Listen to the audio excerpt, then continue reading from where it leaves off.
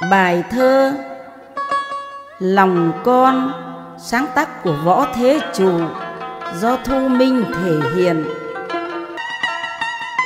Tuổi già hành sắc rồi tan, Mong sao hồn vận dâng tràn yêu thương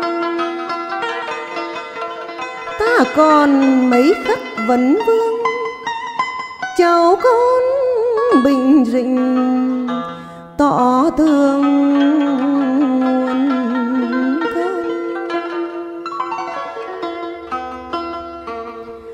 bạn bè rủi phận cô đơn xót thấy người bị chập chờn chia xa.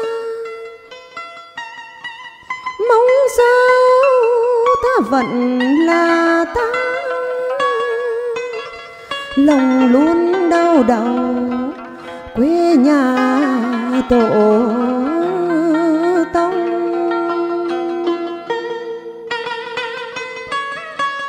Nhớ quê tôi mắt cay nồng, ấu thơ âu yếm, mẹ bông nựng con. Đường đời gánh tạc heo